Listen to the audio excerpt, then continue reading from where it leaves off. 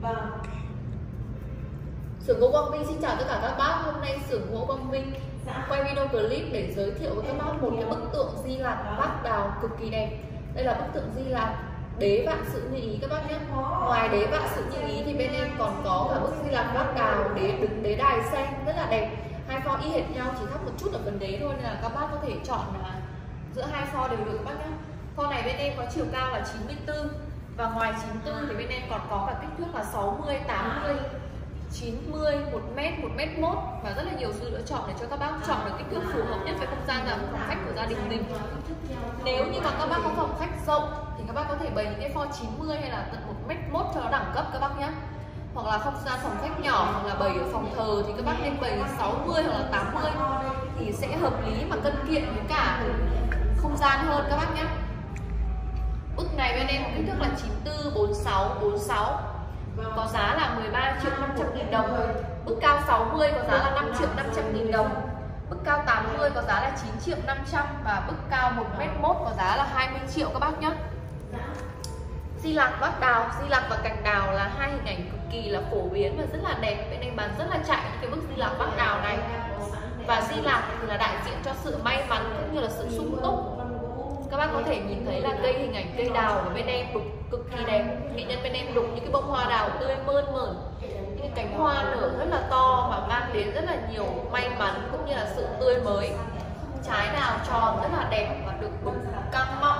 Các bác có thể nhìn thấy là cái vân gỗ đều rất là tuyệt vời các bác nhé vân gỗ rất là đẹp đây là một hình ảnh cực kỳ đẹp cũng như là về thẩm mỹ và cũng như là về cảm xúc, các bác có thể nhìn thấy là diện mặt của cục di là cực kỳ là hoan hỉ. Từ diện mặt này khuôn mặt này, đôi tai phật này, đến cái sự mập mạp của thân hình, hay là đôi lông mày, ánh mắt, mũi đến nụ cười cực kỳ là hoan hỉ. Và trông những nụ cười của cụ cực kỳ là tỏa nắng và càng nhìn, càng ngắm nhìn lâu thì càng cảm thấy thư thái cũng như là cảm thấy vui vẻ, các bác nhé vâng vâng Hoa đào thì thường nở vào mùa xuân, mang đến, cũng mang ý nghĩa hình ảnh là bình an và hạnh phúc. Và cành đào và trái đào là hình ảnh biểu trưng cho sức khỏe và tuổi thọ. Vì thế đây là một bức tượng rất là nhiều ý nghĩa. Các bác có thể là thấy là trên tay của cụ thì có cầm một cây gậy như ý, mang đến ý nghĩa là vạn sự như ý tài lộc cho gia đình. Đây là một bức tượng cực kỳ là nhiều chi tiết. Nếu như bác nào thích cái bức tượng nhiều chi tiết sống động mà nó được nổi hoàn toàn đẹp như thế này, thì các bác có thể lựa chọn bức tượng này các bác nhé nổi bật nhất của tác phẩm này là đục năm chú tiểu đồng. Đây có thể được gọi là di lạc bát đào ngũ phúc các bác nhé. Năm chú tiểu đồng mỗi chú có một cái nét đẹp rất là riêng.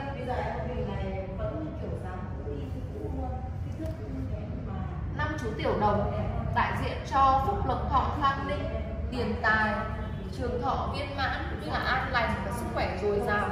Cực kỳ đẹp và cực kỳ đẳng cấp các bác nhé. Mỗi một chú tiểu đồng thì có một cái nét tinh nghịch khác nhau, cũng như là có một cái diện mặt thần thái khác nhau, và kết hợp lại thì làm cho cái tác phẩm cực kỳ sống động, cũng như là ý nghĩa của tác phẩm này như là cụ Di Lạc mang đến bình an, cũng như là sức khỏe cho gia đình và con đàn cháu đống cho gia đình các bác nhé.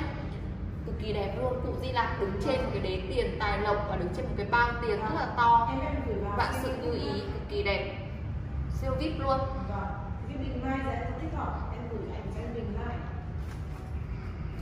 bức này cao 94 ngang 46 sâu dày 46 phân. Bức này bên em bán giá là 13 triệu 500 nghìn đồng. Các bác có thể chọn kích thước cao 60 giá 5 triệu 500 nghìn, cao 80 giá 9 triệu 500 cao 94 giá 13 triệu 500 và cao 1m1 là bên em đang bán với giá 20 triệu. Cực kỳ cân kiện cực kỳ đẹp. Khi mà các bác chọn mua tượng Di Lạc thì các bác lưu ý là nên chọn những cái bức tượng mà có diện mặt của Di là cười hoan hỉ tỏa nắng như bức tượng. Em đang livestream cho các bác xem, các bác nhé. Rất là đẹp. Từ những cái tà áo của cụ này, hay là đến những cái đôi bàn tay, đôi bàn chân mập mạp cực kỳ đẹp. Tà áo được đục mềm mại và những cái nét đục thì rất là bay bổng, tạo cho cái tác phẩm một cái sự mềm mại cũng như là cụ Di là trông cực kỳ là vui vẻ, hạnh phúc các bác nhé. Các bác khi mà chọn mua tượng Di Lạc thì nên chọn những cái bức tượng có cái nét đục kênh bong cái bức tượng này giá thành hợp lý. Có rất là, trên thị trường thì có rất là nhiều những cái mức giá khác nhau tùy thuộc vào chất liệu gỗ cũng như là nét đục. Và kích thước của tác phẩm các bác nhé bức này bên em có chất liệu là gỗ hương và hàng hoàn toàn liền khối, đục cực kỳ canh bong. Các bác có thể thấy là nhìn qua video clip các bác có thể cảm nhận được là bức tượng này của bên em nhìn rất là thật và diện mặt hoan hỉ, vui tươi. Và các bác nên chọn những bức tượng như thế này các bác nhé.